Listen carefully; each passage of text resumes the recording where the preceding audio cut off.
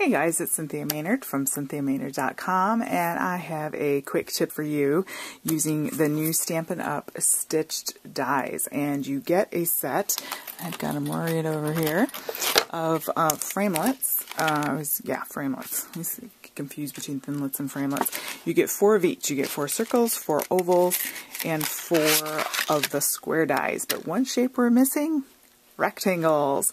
And so if you want rectangles, um, you know, of course, you're only going to be able to go down from the largest size. So I picked out the largest square here, which is, oh, let's take a look see here. It is from edge to edge, two and three quarters all around, of course.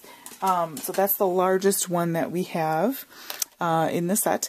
And so I've got just a piece of um, vanilla here, and I have my normal sandwich, my Big Shot. I know I normally don't have it in here, so um, I just have my little plate here, or my, uh, what do you call this, this platform. Um, and then I have my well-loved um, plates here, and so we're just going to put that in between like so, and I'm just going to start out by cutting out the square.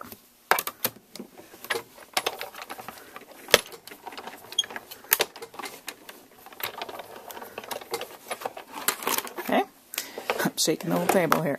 All right, so we have beautifully stitched, uh, of course I picked a light color so you could see it, but beautifully stitched square. So now if you want a rectangle, get our top plate out of the way here. This is going to require, if you have the magnetic platform, which I do not, this is a great time to use it so it doesn't slide around. Uh, or you could use some repositional tape like Post-it makes um, and hold it down like that. Or you could live on the wild side and just um, and just go with it. But so if you want your rectangle to be, so here you have your square. If you want a super skinny one, you can go like that. And then you'll have a super skinny one. If you want more of a, um, you know, you can go halvesies there like that. And of course, if you want kind of a squarish rectangle, you can go like that. So it all depends on what sentiment you want to use. But we're basically going to do some partial die cutting here. I'm going to go with that because I think it'd be a good tag size. And we are going to put the end that is uh, getting cut toward the machine. So here, I'm not going to roll this all the way through like I just, just did. So I'm just going to line it up. You don't have to worry about, you know, oh, I can't see the stitches. As long, oh, we've got our pianist practicing there.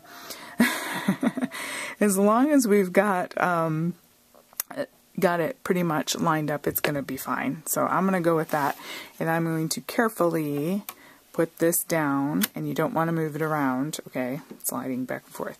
And then we're just going to roll it through until we hear the oomph, you know how it is when you die cut, you kind of hear that, kind of like you're hitting something on the road there, but when you hear when you hear that sound, we're going to back up. So here we go.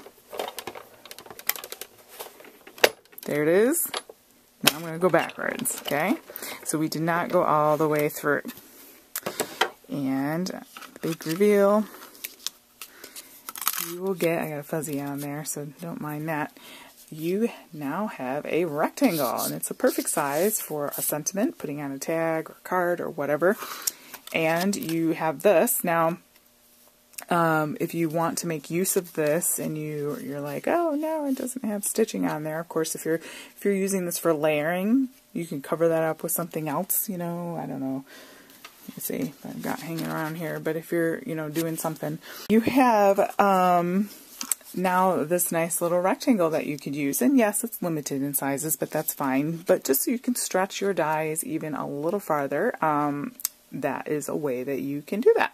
Alright guys, if you like quick tips and ways to stretch your craft products to make the most out of what you've paid for them, go ahead and hit like to this video please to show your support for this channel. Um, that would be greatly appreciated.